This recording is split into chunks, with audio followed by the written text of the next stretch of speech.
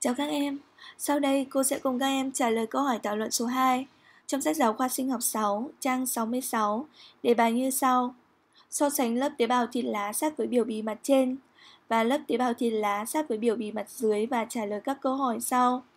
Thứ nhất, chúng giống nhau ở những đặc điểm nào? Đặc điểm này phù hợp với chức năng nào? Thứ hai, hãy tìm những đặc điểm khác nhau giữa chúng.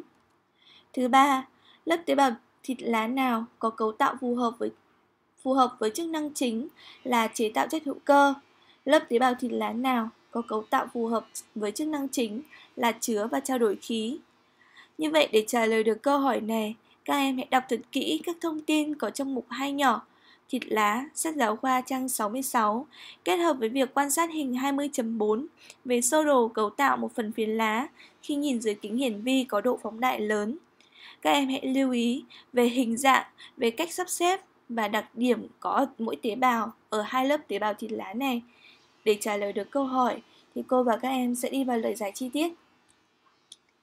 Thứ nhất, đó là sau khi quan sát hình 20.4, các em có thể thấy đặc điểm giống nhau giữa lớp tế bào thịt lá mặt trên và mặt dưới. Ở đây đó là cả hai thì đều có chứa lục lạp và đặc điểm này thì sẽ phù hợp với chức năng thu nhận ánh sáng và quang hợp.